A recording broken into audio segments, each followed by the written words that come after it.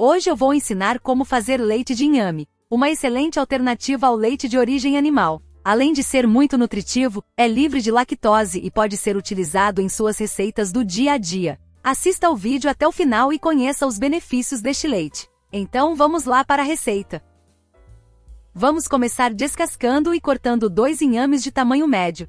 O inhame é uma boa fonte de vitaminas, minerais e fibras, que podem estar presentes no leite fornecendo benefícios nutricionais. O leite de inhame é naturalmente livre de lactose, tornando-o uma alternativa adequada para pessoas com intolerância à lactose ou alergia ao leite de vaca. Alguns compostos encontrados nos inhames possuem propriedades anti-inflamatórias, que podem ajudar a reduzir a inflamação no corpo. Também contém antioxidantes que ajudam a proteger o corpo contra danos causados pelos radicais livres.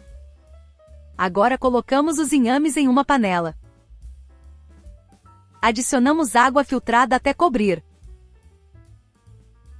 E vamos cozinhar de 15 a 20 minutinhos até ficarem macios. Após cozinhar os inhames, vamos escorrê-los e descartar a água do cozimento. Em seguida, colocamos o inhame no liquidificador. Adicionamos 4 xícaras de água filtrada.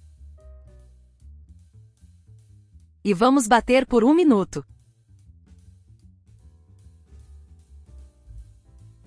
Após bater, vamos colocar uma pitadinha de sal. Vou colocar meia colher de sopa de essência ou extrato de baunilha, mas é opcional. E vamos bater por alguns segundos, apenas para misturar. Agora é só coar a mistura através de um pano ou coador para remover qualquer resíduo.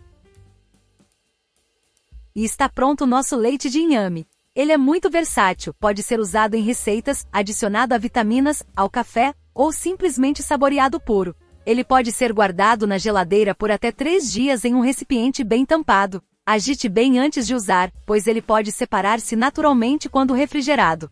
Espero que tenha gostado desta receita. Se gostou, deixa aí o seu comentário e não esqueça de clicar no gostei e de se inscrever no canal. Até a próxima!